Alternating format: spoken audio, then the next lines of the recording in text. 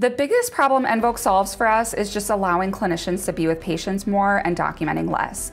As we all know, nurses, they don't go to school to document, they go to school to care for patients, and this nVoq really allows them to do that. I'm Abbie Watson. I am Vice President of Central Operations for St. Croix Hospice. St. Croix Hospice is a hospice organization that provides hospice care in 10 states in the upper Midwest. We're always looking for ways that we can not only enhance and improve the patient experience, but the experience for our clinicians as well. We were hearing a lot of feedback from our field staff, from our nurses in particular, about the time it took to document. It really was hard to hear from our nurses that they were spending so much time documenting because not only did it impact their work life balance, but it impacted the amount of time they could spend with their patients. After hearing this month after month, we just said we have to find a solution. It was really important to us to find a solution that was going to be easy for our clinicians to use and that would support them at every level. nVoq uses a voice to text ability that is clinically based. And so a word like acetaminophen, it's gonna spell correctly. You know, I'm not extremely tech savvy, but nVoq is something that was very, very easy to learn.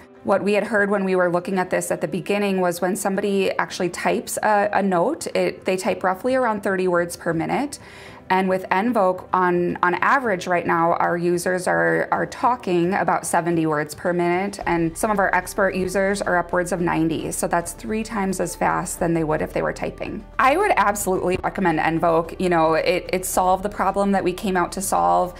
It's been a great tool for our nurses, you know, in terms of retention and recruitment. It allows us to spend more time with our patients and their families. We've had feedback from nurses that they this makes their life easier.